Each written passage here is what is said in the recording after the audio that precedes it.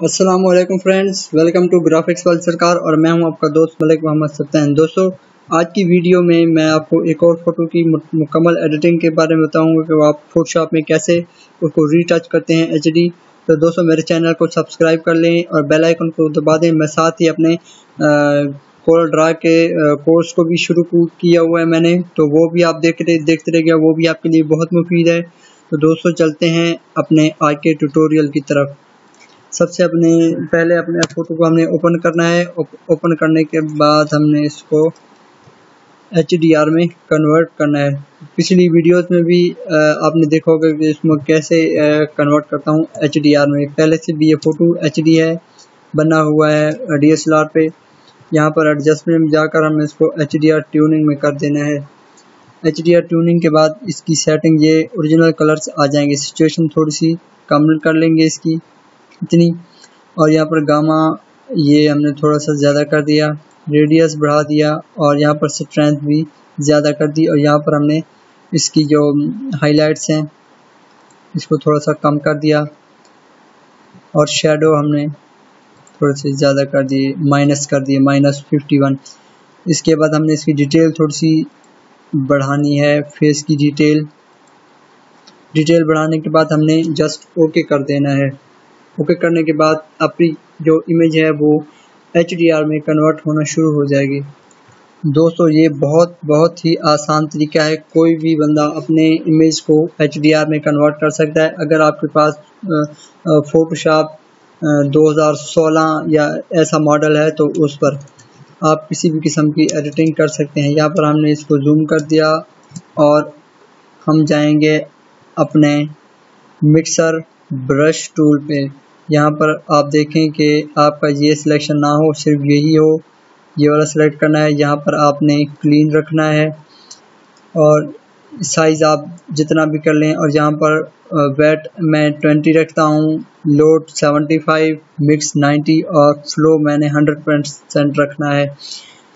और यहाँ पर हमने शुरू कर देना है अपनी एडिटिंग ये मैंने सात आल्ट आल्ट को भी कभी कभी दबाना है कि जहाँ जहाँ पर हमारे इमेज की थोड़ी सी डार्कनेस आ जाती है, वो ठीक हो जाती है। साथ हमने आल्ट प्रेस करूँगा तो ये इमेज बहुत खूबसूरत हो जाएगा। इमेज तो खूबसूरत हो जाएगा, आपकी पहली इमेज ख़राब ना हो। यहाँ पर हमने कंट्रोल जे प्रेस करना है कि ताकि इसकी कापी हमें हमारे पास आ जाए। कंट्रोल जे से कॉपी कर लेना है। यहाँ पर मैंने इसकी सिलेक्शन शुरू कर दी है। दोस्तों, थोड़ा सा मैंने इसको साइज़ बढ़ा दिया है। ये पूरे फेस पर मैं क्लिक करूँगा। बहुत ही ध्यान से करना है कि ज़रा भी गलती से आपका पूरा इमेज ख़राब हो सकता है।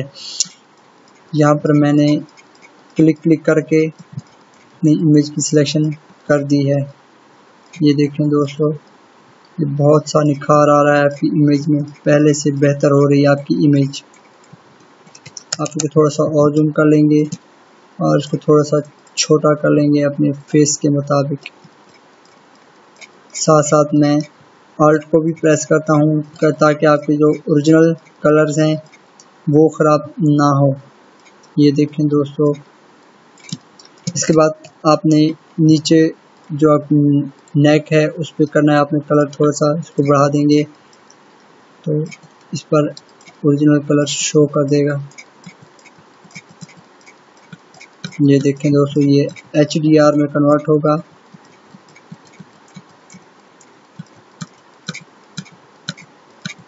आपकी जो डिटेल है, वो इमेज की फुल हो जाएगी।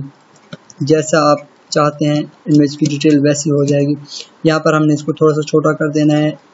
और थोड़ा सा जो आँख के डार्क सर्कल्स हैं, उसको भी सेट कर देना है। यहाँ पर हमने अपनी आइस के ऊपर वाली जगह पर भी थोड़ा सा इस ब्रश को फेर देना है। ये होता है हमारा image mix tool mix tool से हमारे इमेज की डिटेल ज़्यादा हो जाती है। इसमें हम कोई भी इफ़ेक्ट आसानी से लगा सकते हैं। दोस्तों, यहाँ पर देखें, पहले वाला इमेज और इस इमेज में काफ़ी फ़र्क आ गया है यहाँ पर। हमने अपने बाजू पर भी यही मिक्सिंग करनी है। थोड़ा सा इसको बड़ा कर दिया मैंने। और ये मैंने मिक्सिंग शुरू कर दी। ये दोस्तों बहुत ही खूबसूरत लगता है। जब आपने आपने इमेज को आप कोई भी इफ़ेक्ट देते हैं तो वो आपका जो इमेज है, वो खूबसूरत होके आ जाता है आपके सामने। इसके बाद आपने आ, इस टूल पे स्पॉन्जी टूल या बर्न बर्न टूल पर क्लिक करना है। बर्न टूल पर आप क्लिक करके थोड़ा सा छोटा कर देंगे और अपनी आँखों पर ये फेर देंगे बर्न टूल यहाँ पर आपकी आँखों की डिटेल खूबसूरत हो जाएगी। ये देखें दोस्तों मैंने साथ ऑल्ट भी प्रेस किया। ऑल्ट प्रेस करने से ये इसका वाइट शेडो ज़्यादा शो कर देगा। यहाँ पर मैंने ऑल्ट छोड़ दिया और अपनी आँखों पर प्रेस कर दिया। और इसके बाद हमने अपनी आईब्रोज सेट करनी है तो यहाँ पर सिंपली हम क्लिक कर देंगे तो ये आईब्रो हमारी सेट होंगे ये हमारी बियर्ड और ये हमारी मूछें वगैरह, ये भी सेट होंगी इसे स्पॉन्जी टूल से। ये मैं आपको फिर दिखा दूँ, ये हमारा बर्न टूल है। बर्न टूल से हमारी ये सेटिंग होती है दाढ़ी वगैरह की। यहाँ पर हमारी डिटेल मुकम्मल हो चुकी है तो इसके बाद हम इसको हेयर कलर्स पे भी थोड़ा सा फोकस करेंगे। थोड़ा सा इसे मैंने ये बर्न टूल उठाया, इस टूल को बड़ा कर दिया और अपने हेयर्स पे फेरना शुरू कर दिया। तो ये मुकम्मल डिटेल के साथ फुल ब्लैक हेयर्स आपके आना शुरू हो जाएँगे। आपको फ़र्क बता दूँ कि इसमें फ़र्क क्या है? दो तो ये देखें, इसमें बहुत ज़्यादा फ़र्क आ गया है। एक ही टूल मिक्सा टूल प्रेस करने से। इसके बाद हम इसका बैकग्राउंड चेंज करेंगे। तो बैकग्राउंड चेंज करने के लिए आपने इसकी सिलेक्शन करनी है। बैकग्राउंड को रिमूव करने से पहले आपने पहले इसको क्लिक करना है और शिफ्ट दबा कर नीचे वाले को और राइट क्लिक करके आपने मर्ज कर देना है। मर्ज कर देने से आपका जो बैकग्राउंड है वो अच्छे तरीके से कट होगा। यहाँ पर मैंने अपने इमेज की कटिंग कर ली है, यहाँ पर पॉलीगॉन टूल से। यहाँ पर राइट क्लिक करके सिलेक्ट इन्वर्स करेंगे और सिंपली डिलीट पर प्रेस कर देना है। ओके ये डिलीट हो गया। डिलीट होने के बाद यहाँ पर हम मैजिक रेज़र और एक मरतबा क्लिक करेंगे। हमारा ये मैजिक रेज़र टूल काम करना शुरू कर देगा। ठीक हो गया दोस्तों। इसके बाद हम कोई भी अच्छा सा बैकग्राउंड लगाएँगे। दोस्तों, यहाँ पर मैंने अपना बैकग्राउंड सेलेक्ट कर लिया है। ये रोड साइड वाला यहाँ पर बहुत खूबसूरत लगेगा बैकग्राउंड ये मैंने उठाकर अपनी इमेज पर रखा और शिफ्ट दबाकर इसे नीचे ले आया। यहाँ पर मैंने अप्लाई कर दिया। अप्लाई करने के बाद अपनी इमेज को ऊपर ले गया। यहाँ से हमारा इमेज आ गया है। अगर हमने पीछे वाले इमेज को ब्लर करना है तो फ़िल्टर में जाकर ब्लर में जाकर हम गुशन ब्लर कर सकते हैं। ये देखें दोस्तों, मैंने इसे गुशन ब्लर कर दिया। ये बहुत ही खूबसूरत इमेज हो गया है इसके बाद।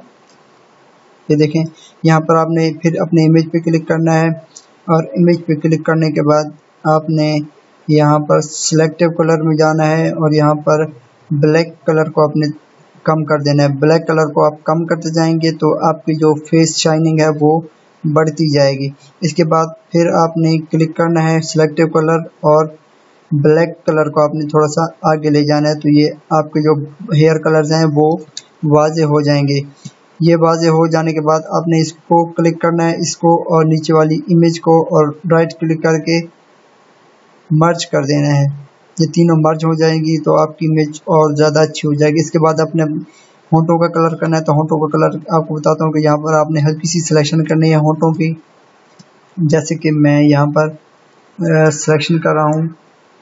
ये मैंने अपने होंठों की सिलेक्शन कर ली। जब भी आपने किसी चीज़ की कटिंग करनी है कटिंग करनी है या सिलेक्शन करनी है तो वो आप बहुत ही अच्छी तरीके से करें। अगर आप ज़रा भी कटिंग ख़राब कर लेते हैं तो आपके इमेज का मज़ा ख़राब हो जाता है। यहाँ पर हमने कापी और भी पेस्ट कर दिया। पेस्ट करने के बाद इस पर एक लेयर कापी हो जाएगी। यहाँ पर मैंने ये कलर रखा, इसकी जो होठों का कलर रेयर कलर है, मैं इसको कलर एम्प्लॉय में जाकर ये कलर ले लेता हूँ और इसको मैंने सिंपली यहाँ पर बकेट टूल से ओके कर दिया। ये मैंने फुल तीन मरतबा क्लिक किया। इसके बाद मैंने यहाँ पर मल्टीप्लाई पे क्लिक किया। मल्टीप्लाई पे क्लिक करने के बाद कैपेसिटी मैंने इसकी कम कर दी। कैपेसिटी अगर यहाँ पर रहने दे तो यहाँ पर फिल कम कर देंगे। फिल कम कर दिया और फिर हमने कैपेसिटी थोड़ी सी कम कर दी। फिर हमने यहाँ पर फिल थोड़ा सा ज़्यादा कर लिया। तो ये देखें दोस्तों, आपके होंठों का कलर यहाँ पर आ जाएगा। कोई भी कलर आप यहाँ पर कर सकते हैं। फुल रेड भी यहाँ पर पड़ा हुआ है, वो आपको चेक कराता हूँ।